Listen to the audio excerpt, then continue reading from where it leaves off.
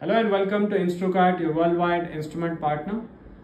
For this force gauge, as we have seen earlier in the videos, we wanted to check if this works fine with the test gauge and that's the reason I am making a video for this test stand.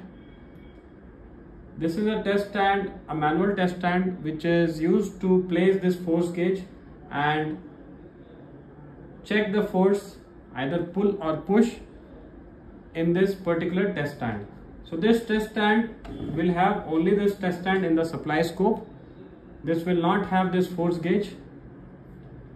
Along with that, you will also have that wedge grip which is optional.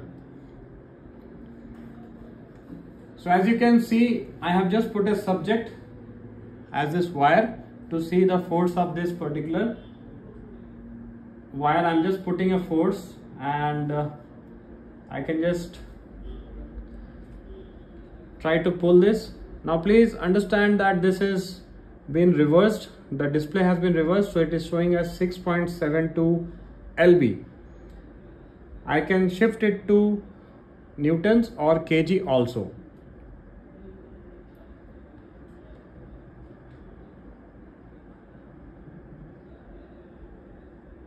So this is how i'm applying the force and I am getting the value onto this force.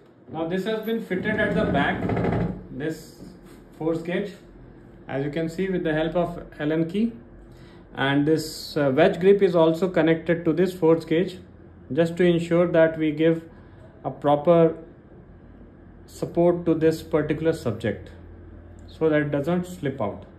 At the bottom you have a hook option you may have uh, different uh, options to ensure that the wire is correctly tied. These are other accessories which is available with the force gauges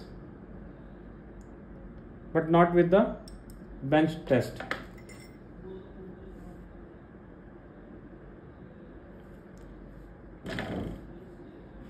So for more information on to this device force gauge or the test stand, you may reach our expert at instrukart.com. Thanks for watching.